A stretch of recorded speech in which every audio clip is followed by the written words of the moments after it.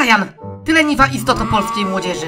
Jestem! Obecność to była sprawdzana jakieś 20 minut temu, chłopie. Coś ty robił w weekend, że śpisz na lekcji? Na imprezie byłem, przepani. Jakiej? Zajebistej. W fejsie.